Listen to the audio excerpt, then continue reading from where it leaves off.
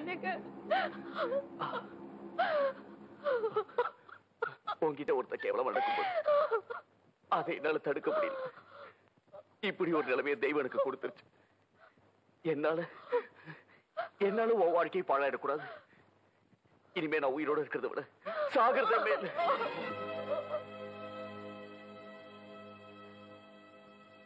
ஆமா பவானி உன் மேல உள்ள உண்மையான அன்புனால சொல்றேன்.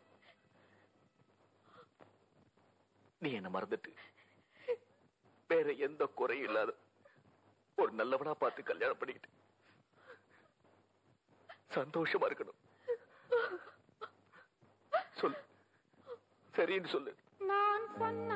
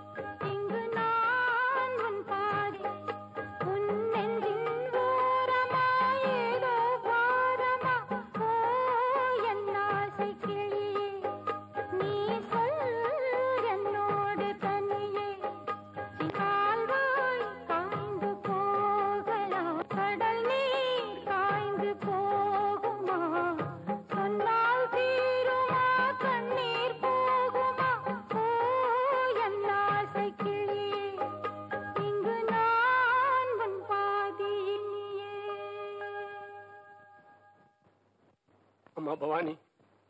அப்பா. நாமளும் எவ்வளவோ முயற்சி பண்ணி பார்த்துட்டோம். சங்கருக்கு கைகால் குணமாகல. மேற்கொண்டும் செலவு பண்ணி வைத்தியம் பண்றதுக்கு நம்ம கிட்ட வசதி இல்லை. கடைசியா ஒரு முயற்சி. நீ அக்கறையில் இருக்கிற வனகாளி கோயிலுக்கு போய் சங்கருக்கு குணமாகணும்னு